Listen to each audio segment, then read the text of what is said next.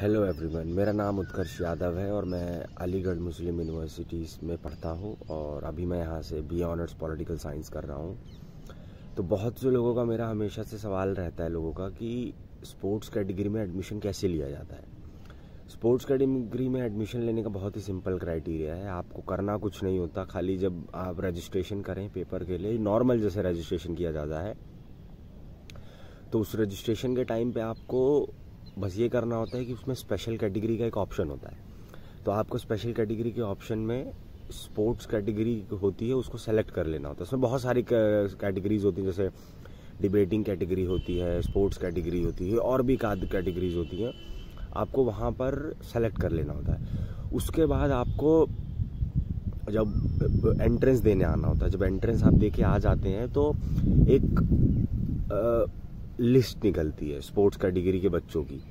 उसके बाद आपको एंट्रेंस में कुछ परसेंट स्कोर करना होता है। जब आप कुछ परसेंट स्कोर करते हैं मतलब एम की गाइडलाइंस के हिसाब से जो स्पोर्ट्स कैटेगरी में बच्चों को लानी होती है, मेरे ख्याल से वो थर्टी फाइव और कुछ परसेंट होता है। मतलब आई गेस मैं कुछ, मैं ये नहीं कह रहा कि थर्टी फाइव परसेंट ही होता है, ऐसे ही कुछ होता होगा।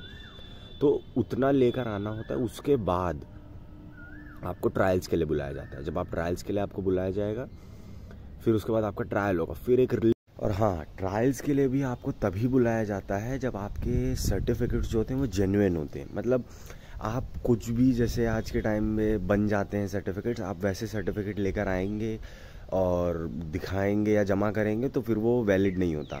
तो आपको बिल्कुल जेन्युन सर्टिफिकेट्स होने चाहिए आपके पास। और दो चीज़ ट्रायल के दो फेजेस होते हैं। पहला दिन क्या होता है कि आपको आपसे आपका फिटनेस कराया जाता है। आपसे उसमें वॉक कराई जाएगी, आपको रनिंग कराई जाएगी, आपसे क्रंचेज लगवाए जाएँगे, आपको ये सारी चीज़ें करवाएँगे। उसके बाद आपका जो भी आप कैटेगरी के, चाहे आप क्रिकेट खेलते हैं, आप क्या स्विमिंग करते हैं, आप रेसलिंग करते हैं, आप जो भी गेम खेलते हैं, आपसे वो करवाया जाएगा।